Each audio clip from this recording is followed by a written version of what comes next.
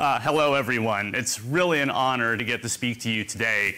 Uh, someone who's been a longtime fan of TED Talks. I've used them in my classes, I've used them in my trainings. Uh, it's really an exceptional opportunity to get up here and speak to you. And so when I was given the invitation, I asked myself what I should talk about. And it occurred to me I should probably rely on something that we all have to do in a day to day setting, which is negotiate. Now, most of us aren't involved in arms control negotiations or hostage crisis negotiations. We're trying to buy a car or we're trying to get uh, spouse to go to a movie with us that we want to see or maybe stop making that casserole that makes them sick every time they look at it. Uh, but you have to do those things very delicately. Uh, and so I want to fall back on is sort of my experience working at the United Nations. I was very lucky for a number of years to get to work with UNITAR, the United Nations Institute for Training and Research.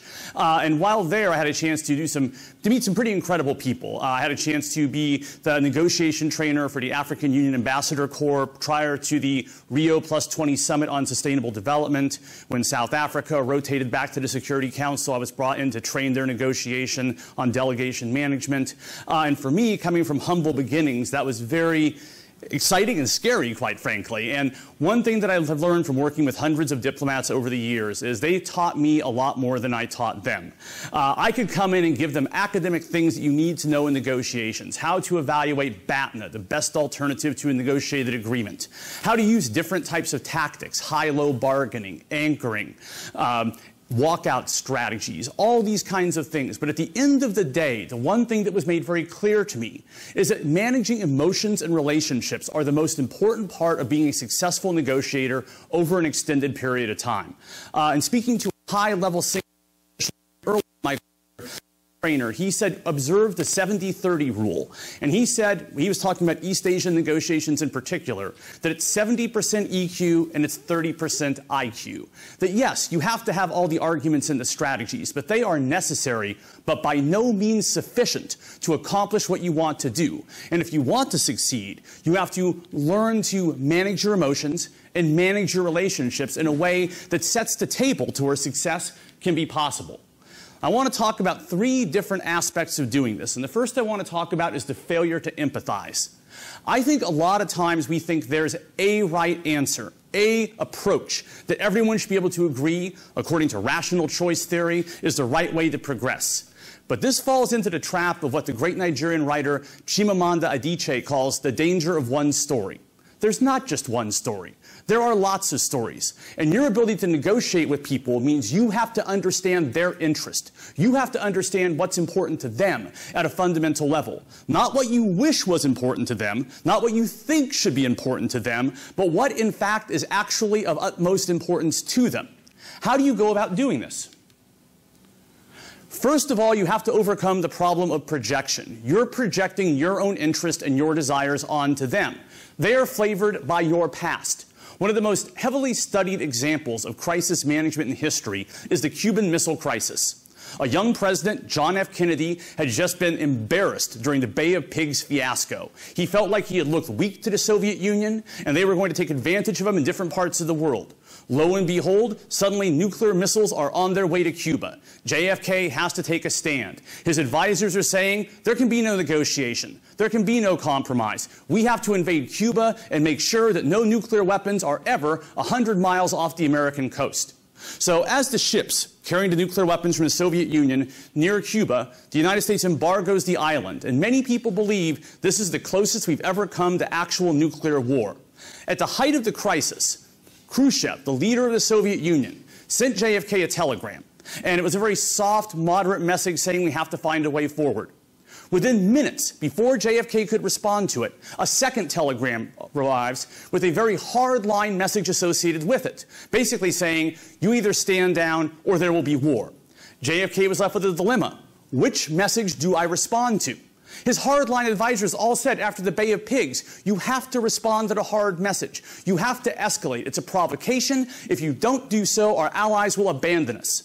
Happily for JFK, and happily for all of us, there was another person in the room, Tommy Thompson, who had served as an advisor to JFK, uh, sorry, sorry, to JFK and other presidents in Russia prior to returning to the U.S., and he knew Khrushchev well. Indeed, he had stayed with Khrushchev's family on a number of occasions. And Thompson figured out oh my gosh, this is not Khrushchev being bellicose. He has a domestic political crisis at home going on. He has conservatives pushing him. If he doesn't get a perceptual win, there might be a coup, and an even more hardline person might come into power. So Thompson said, Sir, I advise you to respond to the softer message, the first message. Offer him a way out. Khrushchev has to have a win, even if it's only symbolic. This is the only way forward. Put yourself in his shoes, Mr. President. And that's what Kennedy did. He guaranteed the U.S. would not invade Cuba, and the Soviet Union, in turn, agreed not to put nuclear weapons there. And JFK threw in the sweetener so that Khrushchev could claim victory that the U.S. would withdraw its missiles from Turkey, which are also very close to the Soviet Union. Now, what Khrushchev didn't know was that Kennedy had already made the decision to remove those missiles from Turkey prior to the conflict. He basically sold the Turkish missiles twice. But by doing so, he allowed Khrushchev to claim victory. And and in displaying the power of empathy, he was able to put forward a setting that allowed for success. The second thing that has to be considered is understanding external constraints. Khrushchev faced tremendous external constraints. He had a conservative group in his country that needed him to win, or they might replace him, if one believes the accounts of history. We see something like that today in Israel Palestine on a very fundamental level. Uh, I think a lot of people would like to see peace there, and they can see a path to peace in the middle ground. But the problem is, no matter what side of that conflict you support, both sets of leaders face daunting domestic constraints. If, for example, the Palestinians give in and maybe recognize Israel as a Jewish state in exchange for something else, even if they can get that deal with the Israelis, they have to go back to their people and back to the people of Gaza as well and sell that deal to them. If the deal discredits Abbas so much then he'll be deposed and a more hardline person will come into power. Similarly, in the Israeli case, if their prime minister, Netanyahu, were to make massive concessions to Palestinians, what happens next? He has to go back to his government and sell it to their equivalent of the Congress. He has a parliamentary system. They have coalition government in Israel. His coalition is a center-right coalition. If he makes concessions, that coalition collapses, suddenly a new government is formed, what if it's a more right-wing government? What if it's led by someone like Lieberman? Now that deal gets rolled back and things were even worse than they were before. Unless you are attendant to seeing things the way they are for the other side, and not just for yourself, you get yourself into no shortage of difficulties going forward. Finally, the importance of saving face. This concept is referred to a lot in talking about Asia, but it's certainly not a uniquely Asian concept by any stretch of the imagination. No one likes to feel like they're losing. Uh, a great Stanford University Business School professor, Joel Peterson, early in his career as a negotiator, wanted to establish his brand, his reputation. And he wanted to pick an area he would be firm on. He would give on other things, like perhaps deliverability of goods, what kind of properties would be involved, things like that, but price. Price would be his one thing he would never move on. He would make his reputation as taking a firm stand on price. Well, he had one negotiating partner who negotiated with him during dozens of different sessions. And after a while, he turned to him and said, I need you to do me a favor, Mr. Peterson. Mr. Peterson said, What favor is that? He's like, I need you, every time you come up with a number before a negotiation, to add 10% to that number and ask for more from me. Peterson looked puzzled. And he was like, look, Joel, if I never get a win on price, I look like an idiot to everyone I work for. I can never get a win on price. If you really need that final number, work with me to create a situation where you can win and I can win. We both save face. You got the number you wanted, I satisfied the people I work for, and we found a common way forward. Thinking about where the other person lands at the end of the deal is absolutely essential to deals being durable and to continuing partnerships going forward. The second package of things you should look at is managing emotions. Uh, we all use emotions to inspire us. There's a great saying that when you're angry, you'll give the best speech you wish you'd never given. Uh, you know, we're able to generate so much with that, and anger is a very human response. But managing your emotions is key to succeeding in a negotiation. Oh, two of them just went up. We'll take one back. Um, first of all, make anger strategic you have to use it like a weapon, or more accurately, like a surgeon with a scalpel, uh, only exposing as much as you need to and being measured in your response. If you're that person who's always angry in a negotiating room, always getting upset, uh, you're one note. So when you want to indicate you're more angry or less angry, it's already, the volume's already on max, the ears are already distorted. You can't toggle or signal to people how relatively angry you are. If you're moderate in your anger, you can make great ground. More than that, if you can avoid being angry at times, because during negotiations, there are often people who are spoilers as parts of negotiation teams. They don't want things to succeed. They want to get you angry to scuttle things, and you don't want to fall into that trap.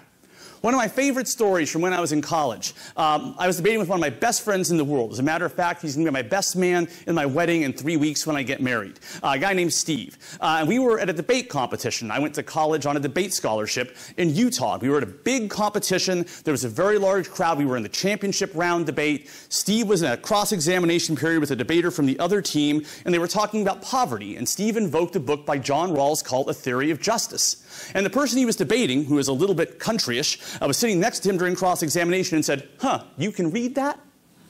Now, Steve, large African American male, this person, very hickish. Steve was like 6'4, 300 pounds, an all city football player in San Francisco. He could have taken this kid and stuffed him into a garbage can. You know, and as soon as he made the comment, oh, you can read this, the racial overtones were very clear to everyone in the room. There was some gasp from the back of the room.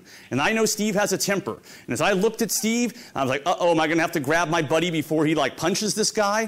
But what Steve did was he stopped, he looked at the person, sighed, and shook his head all the weight of having to deal with this oppression. He was going to rise above it with class. As soon as that happened, his partner literally started to scoot her seat toward the wall. There was distancing going on. The crowd sort of was muttering about it. We had the rest of the debate, but that debate was already won in the eyes of the judges and the crowd because we had taken the high ground when anger was still available to us. Uh, the best revenge is victory.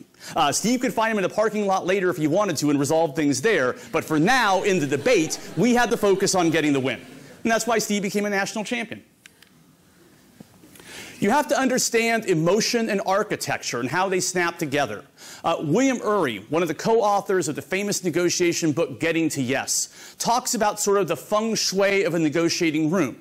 Uh, you want to have an architectural environment that works for you. Uh, you don't want desks facing each other like adversaries. You want to create dynamics where people work side by side so you can subtly feel like you're working in a team setting. When things get difficult, change the setting. Go for a literal walk in the woods. It can make all the difference in the world. Now, of course, architecture can send a different message as well. There's a great story about Ambassador Richard Holbrooke, who was U.S. representative in Europe during the Bosnian War. And he was going to sit down for negotiations between these parties who were involved in a very brutal conflict. And the U.S. was contemplating a bombing campaign in Bosnia at that time. So they met for the negotiation at the U.S. Air Force Base. They thought they were going to go to a conference room. But no, Mr. Holbrooke walked them to an aircraft hangar walked them into the hangar where there was a bomber jet. Then he walked them over to the jet with the bomb bay doors open where the bombs go, and right below the bomb area was the table where they negotiated at. So every time they looked up, they saw what would happen next if the negotiations failed. Bombing. Not very subtle, but very effective in that setting. Your architecture can make a really big difference as to how things go. You also have to account for what I call duper's delight. Uh, what happens if things go well? What happens if you start to win? Who here has seen a National Football League game before? Actually, not that many of you. Okay, in, in tackle football, when like you sack the quarterback, there's often something called sack dancing that occurs. So the person who does the tackling, like guess what goes, "Woo! I'm the greatest! I sacked him! I'm wonderful!" Trying to fire his team and the crowds up. You'd be surprised how often that dynamic asserts itself in a negotiation. When someone feels like they've done well, that big smile passes over their face. Aha, I gotcha. That's a signal to the other person they left things on the table, that they somehow lost. When I work with my clients, I train them that when you win, that's when you have to look silently a little discouraged. Like, ah, oh, I'm going to have to settle for this. Even though as soon as you get to the bathroom back at wherever you work, you're going to be doing a sack dance all your own, you have to wait for the sack dance. And so don't skunk your own victory by celebrating prematurely. Don't hang the mission accomplished banner until the mission is really accomplished. Finally, you have to focus on building relationships. Uh, negotiations are rarely one off negotiations tend to be serialized by their nature. Uh, if you work in a small industry, a specialized business, if you work in the world of government, it's a very small world. You keep running across people again and again and again. Uh, it's why when you work with top negotiators, they don't teach you these little gamey skills like high-low bargaining, uh, like walkout strategies, because they recognize those are only short-term strategies. And if you employ those unpleasant kind of negotiating techniques, people will choose to do business with someone else. You want to create a situation where people want to do business with you again and again and again. In building relationships, you have to make people trust you. You have to make them want to work with you. But they have to know how you're going to react in the crunch. Uh, once you've made a deal, you have to implement a deal, and you'll deal with them again. They want to know that when things go badly, you're able to recover from it and move on at a fairly good level. And that's difficult for people to do.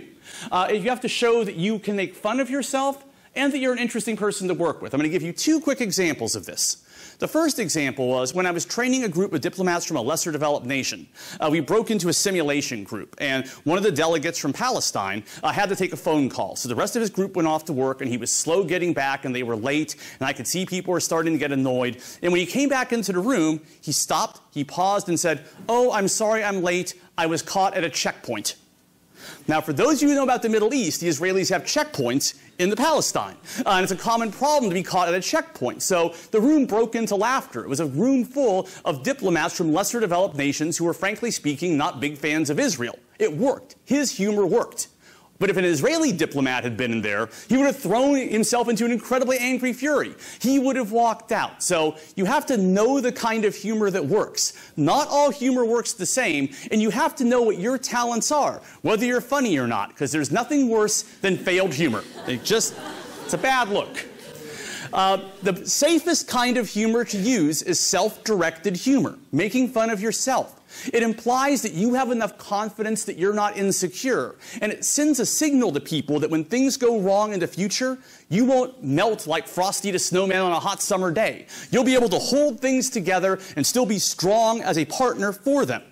Uh, I lived in Korea in my late 20s. I was recruited to come over and work in a business setting there. The first night I arrived, I was extremely ill prepared. I bought my Korean phrase book for the plane. Uh, I'd never been to Asia before. Uh, I arrived. They take me to an apartment. I drop my bags off. They immediately took me to a dinner to meet the staff and important clients. So I throw on a white shirt. I stagger out the door. We go to this restaurant. They've rented a huge area. I'm at the head table with the owner of the business. We're surrounded by people. I sit down down because we're on the floor, which is new to me, but I'm okay. I'm going to make it work. Uh, and then a horrible realization comes to me that I've never used chopsticks before. And there's not exactly a fork sitting in front of me. So I'm looking at the dishes here. Everyone's kind of watching me to see how I'm going to react. I reach for the kimchi. I don't know how many of you really have had kimchi before, but generally it's very red and, and very vibrant in a sense. So I go to pick it up. I got to take the first bite. Plop. Lands on my shirt. Pick up the second bite. Plop on my shirt. Force the third one in, fourth drops down again. Basically, within five minutes, I looked like I was the victim in a gangster movie. Got red splots all over me, and all I want to do is just get up and go back to my apartment and forget this ever happened. But I made myself look around the room at the laughter and went, if I can just laugh with them, if I can show I'm okay with this, I think this is the way to go. And I made myself do it, painful though it was. And it really helped. It cemented a relationship with people. They showed that even though I wasn't prepared, I hadn't learned how to use chopsticks, I could at least laugh at myself and still move on. So it's a very effective thing to do, to make fun of yourself when you're operating from a place of security. So humor in that context can be extremely effective. You also have to be attendant to cultural sensitivity. I think we all respect how profound cultural differences could be. When I was in Korea again, uh, a Canadian friend of mine had his family come over to visit. And a Korean family we knew invited us over for dinner. And so the Canadian family comes over, they sit down, the Korean family brings out the food. It's a table full of great food. The Canadian family kind of gasps at the amount of food, but goes, okay, literally rolls up their sleeves and gets down to eating. And they're through about three quarters of the food on the table. And I noticed the two Korean, uh, the husband and wife look at each other, kind of shocked that the food is going away away, suddenly the wife gets up and runs back to the kitchen. Okay, your pots and pans clanging. Okay, she's like, oh my gosh, you know, I gotta make more food. So the Canadians, they struggle to the very end. They're like, oh, I've done it. You know, great, I finished all that food. She comes out with a whole set of new portions. They're like, oh no. But they're back to eating. And you saw a moment of cultural difference. In Canada, if you don't finish the food in front of you, it's insulting to the person who made it. In certain parts of Asia and other places, if people finish their plate and you don't have more food for them, that's an insult. And they were caught in this cycle of cultural difference. My friend and I let it go on for a little while before we said something. It was pretty amusing to us. Um, but it's not always as funny. It, it, can actually make a huge difference sometimes in terms of how things play out. Think about the difference between Texas and China. I've negotiated with Texans before. You should walk up to them, you should look them in the eye, you should speak directly, and your handshake better be real strong if you want to earn their trust. Imagine you show up in Shanghai and you meet a senior businessman from China who's older than you, and you walk up and go, Hi, I'm Nick you know, I'm excited to do business with you. I'm staring you in the eye, and I put my death grip handshake on you. That's just not going to work out very well, is it? Uh, you have to understand the context you're operating in. Uh, Hillary Clinton learned this lesson very painfully on her first trip to Asia. Uh, very early as Secretary of State, she went to Asia and she started to talk to China. The first thing she wanted to talk about was a succession strategy for when Kim died. What a disaster, right? You don't bring up death in that kind of a setting, certainly not as your opening move, and certainly not as the first female Secretary of State to arrive in that kind of a setting. It went off to a horrible start. She recovered as time went on. Styles are different. One of the most telling conversations I had was with the former ambassador to the UN from Pakistan. And he worked with two U.S. ambassadors to the UN John Bolton, violently anti UN, uh, neoconservative, very anti Islamic, and Bill Richardson, who helped negotiate the release of hostages from North Korea, a highly successful diplomat. And someone asked him in front of me, Who did you like working with more? And I thought it was the stupidest question I'd heard in my entire life. Of course, he wanted to work with Richardson, and I was wrong. He was like, with Bolton, I always know where Bolton stands. If he tells me something, I believe it. He's a straight shooter. But Richardson, he's like a bar of soap. Every time I think we have something and I'm grabbing onto it, it just slips away and falls to the floor. I want the straight shooter. In that case, Pakistan was a little more like Texas, and the negotiators need to recognize that within their dynamic. So there are lots of things to be attendant to in this regard. If you want to succeed as a negotiator, you need to be prepared. You need to understand the chess game of negotiations, whether it's buying a car or trying to resolve an international crisis. But you have to be very clear about being attendant to emotional considerations and relational considerations if you want to succeed over a long period of time. The difference between being a legend in your own time as opposed to a legend in your own mind, between getting a victory and a pyrrhic victory, is your ability to grasp those tools. And I wish you the best of luck in doing so. Thank you.